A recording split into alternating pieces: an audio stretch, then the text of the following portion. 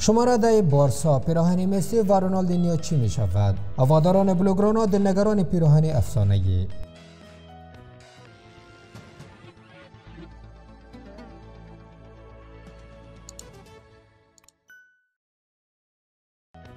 پیراهن شماره ده بارسلونا و نام لیونل مسی آنچنان با هم مجین شده که رونالدینیو زمان گفته بود بارسا بعد از بازنشستگی مسی باید پیراهن شماره ده خود را هم بازنشسته کند لیونل مسی بیش از یک دهه است که ستاره بی بدیل و بیچون چرای بارسلونا هست.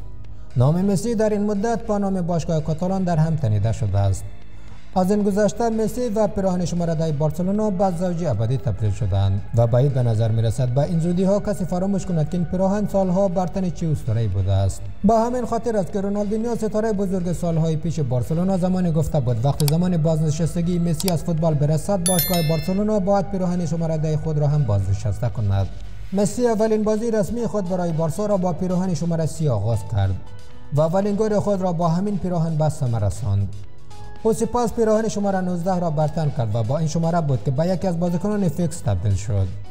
مسی اما در پایان فصل 2007 8 پیراهن شماره 10 را از اسطوره برزیلی باشگاه دریافت کرد.